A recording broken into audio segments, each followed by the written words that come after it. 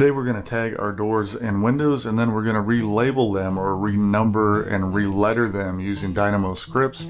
And I have a couple of Dynamo scripts that I'm going to provide to you for free. I'll show you how to um, how to get those open and how to run them. So with our doors and windows, I use uh, numbers for the doors and letters for the windows. The the doors are a a mark, which means they are individual instances and they're uh, they're unique. Each instance is unique. On the windows, however, uh, where I use the letters, I use type marks. So the reason for that is that uh, with doors, you may have uh, several 2, 4, 6, 8s, but they're hinged different. They swing differently, uh, etc.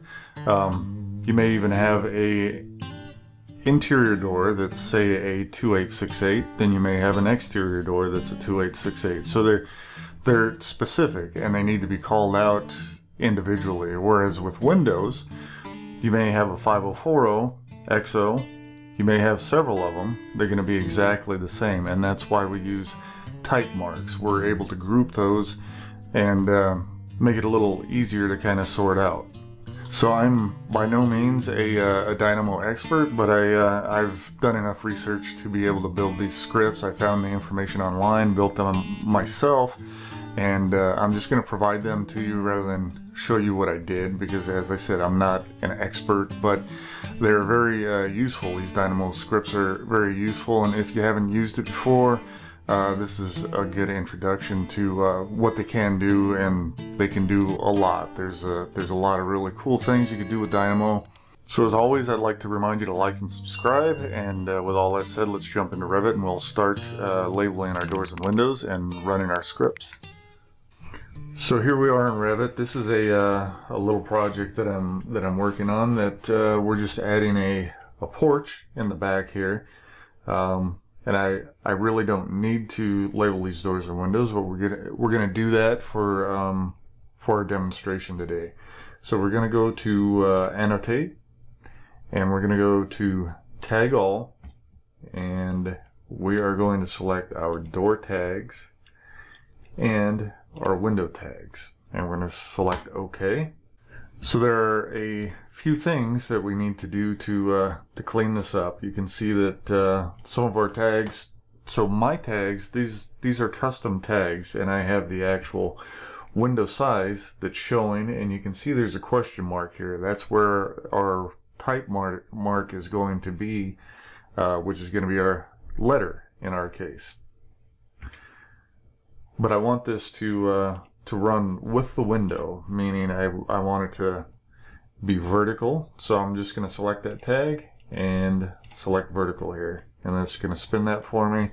And I would do the same with um, with all the other window tags, but that's the only one in our in our case. And then generally, I just come through here and make sure that uh, that the tags aren't overlapping the doors. I just try to kind of clean this up a little bit, just like so. Um, anyway, we'll get to the fun part here. So uh, if you go to manage and go all the way over to the right, there's a Dynamo and Dynamo player. We're going to select the player. So you can see there's a bunch of scripts all already in here, and these are uh, these are scripts that, that come with Revit.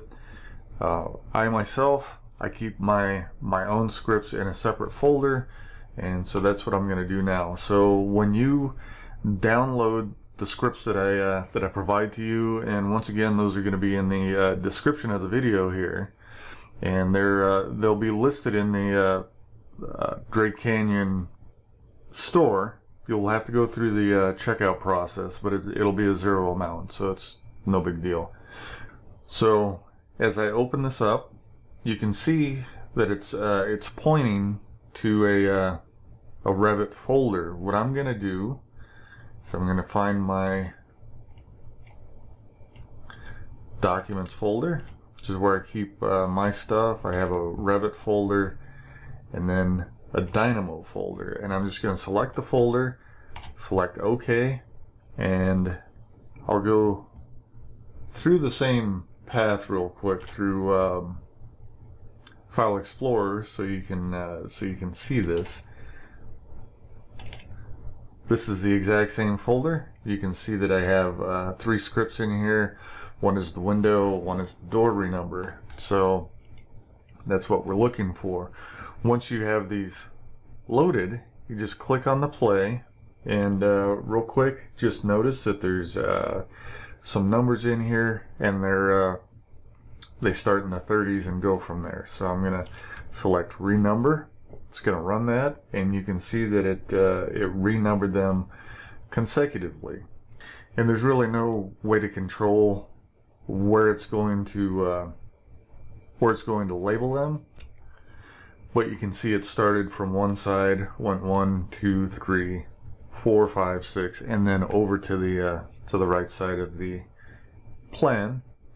And now for our and now for our window renumber, same thing. Just click on the play button button, and as you can see, it has lettered all of my windows.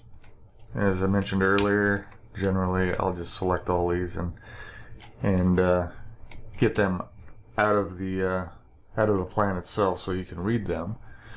And uh, so in this case, we have two 504Os.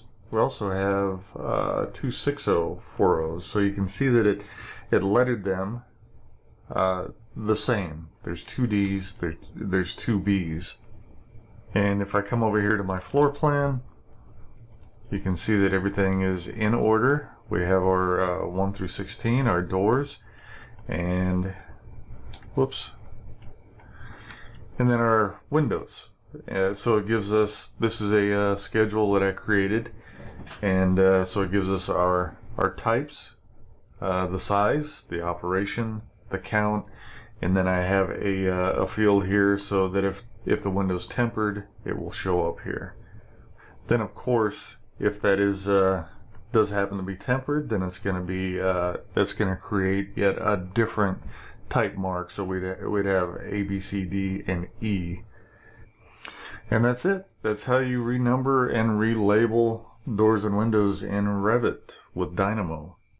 And that's it for this one. Thanks for watching. Uh, again, I'd like to remind you to like and subscribe, and uh, we'll see you next time. Thank you.